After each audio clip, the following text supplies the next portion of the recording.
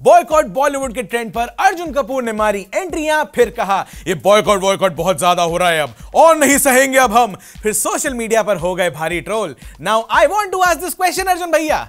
क्या दिल में बज रही हैं घंटियाँ? मेरे को तो ऐसा धक धक हो रहा है। मेरे को भी हो रहा देखिए ना। और क्या क्या कह दिया अर्जुन भैया ने सब बताता हूँ डिटेल में। ये है अर्जुन कपूर, द सुपरमैन सलमान खान के फ़ैन जो ले लिया है इन्होंने पंगा। ऑडियंस ने कर दी माँ बहन। अरे, बस बस बस, शुक्रिया शुक्रिया। थोड़ा सा अर्जुन भाई के गाने पे वर्ड प्ले ही तो किया है। आपने तो सर पे बैठा लिया।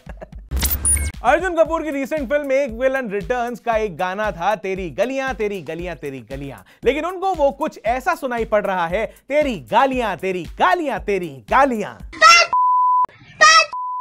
अरे बेटा, बस बस, इतने बुरे नहीं है अर्जुन भैया। ऐसी बातें नहीं करते किसी के लिए। और अर्जुन भैया को भी मैं यही सुझाव देना चाहूँगा जो इस बच्चे को दिया है कि अर्जुन भैया, इतने बुरे नहीं है लोग। ऐसी बातें नहीं करते उनके लिए।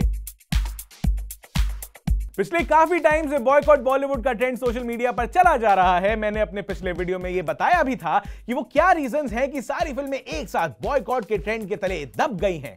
शमशेरा, ब्रह्मास्त्र, लाल सिंह, चड्ढा से लेकर रक्षाबंधन और आने वाली फ़िल्म विक्रम वेदा से लेकर पठान भी इसी बॉयकॉट को झेल रहे हैं। ना सिर्फ़ ये फ़िल्में बल्कि इन फ़िल्मों के स्टार्स भी बॉयकॉट की आंधी में फंस गए हैं। लेकिन सबसे मज़े की बात आपको अब बताऊँगा। इसी बॉयकॉट बॉलीवुड के दौर में आई अर्जुन कपूर भाई की एक विलन रिटर्न और सरप्राइजिंगली वो बॉयकॉट नहीं हुई लेकिन उसका खास रीजन है। पता ही क्या है, है, है? नहीं पता है कहाँ पता है? किसी को पता हो या नहीं हमें पता है।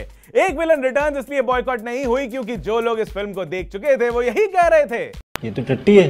वो फ़िल्म इतनी बकवास थी कि किसी ने उसको बॉयकॉट करने की जहमत तक उठाई ही नहीं। सबको यही लग रहा था कि छोड़ो, ये तो वैसे ही कोई नहीं देखने जा रहा। खैर, भले ही तब अर्जुन भैया इस बॉयकॉट की सुनामी से बच गए थे, लेकिन अब नहीं बच पा रहे क्योंकि फटे में टांग अड़ाना भी कोई चीज़ होती है। जहाँ करीना कपूर खान और आमिर खान भी लोगों से अब नीची आवाज़ में अपनी पुरानी जाने अनजाने में की गई गलतियों के लिए माफ़ी मांग रहे हैं। आप हो कि खुला चैलेंज ही फेंक रहे हो। कि ऐसा है, अब बहुत ज़्यादा हो रहा है, हमने गलती कर दी चुप रह के। ऐसा है भैया, बात सुनो ऑडियंस को मनाना है तो अच्छा कंटेंट लेके आओ एटीट्यूड नहीं। जैसी फ्लॉप्स बॉलीवुड दे रहा है बार बार लगातार, लोग सच में एक दिन बॉलीवुड का बॉयकॉट करना छोड़ ही देंगे, क्योंकि उनको भी पता होगा कि छोड़ो, बेकार फिल्म्स बनाएँगे तो वैसे ही कोई देखने नहीं जाएगा। वैसे ऑनेस्टली स्पीकिंग जिस इंटरव्यू में अर्जुन भैया ने ये सारी बातें बोली हैं, उसको देख के पहली बार ये फीलिंग आई कि वाह, क्या एक्टिंग कर रहा है। क्योंकि ऐसी कन्विंसिंग एक्टिंग मैंने अर्जुन कपूर को करते हुए देखा ही नहीं है। और ये मैं तब बोल रहा हूँ जब मैं इन भाई साहब से एक बार मिल भी चुका हूँ, इनका इंटरव्यू भी कर चुका हूँ।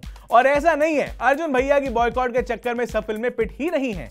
जुग जुग जियो चली या नहीं चली। कश्मीर फाइल्स चली या नहीं चली। रॉकेटरी चली या नहीं चली। भूल भुलैया टू चली या नहीं चली। भैया, लाख दुखों की एक ही दवा। जाओ, बढ़िया फ़िल्म बनाकर लाओ। फिर किसी बॉयकॉट के ट्रेंड से डरने की ज़रूरत नहीं पड़ेगी। ये बड़ी अच्छी बात कही आप क्या लगता है आप सब लोगों को क्या अर्जुन कपूर का स्टेटमेंट कि बॉलीवुड की चुप्पी का नाजायज फ़ायदा उठाया जा रहा है सही है या नहीं? क्यों हो रहा है बॉलीवुड का बॉयकॉट नेपोटिज्म की वजह से? रिलीजियस फीलिंग्स हर्ट करने की वजह से? या अनपेट्रियोटिक होने की वजह से? या फिर कुछ और ही रीजन है? नीचे बताओ कमेंट सेक्शन में या मेरे इंस्टाग्राम पे भी बता सकते हो। My handle is at the rate Abhishek underscore Manchanda like follow and subscribe to Uncut on Facebook Insta and YouTube for more such content मैं हूँ अभिषेक, आप देख रहे हो अनकट और अर्जुन भैया बॉलीवुड को यूनाइट बाद में करना। पहले जो जलता हुआ बॉलीवुड है, उसको बचाने की कोशिश करो। आपके इनरेस्पॉन्सिबल स्टेटमेंट से लोग और भड़केंगे, बॉलीवुड की और ज़्यादा ऐसी तैसी हो जाएगी।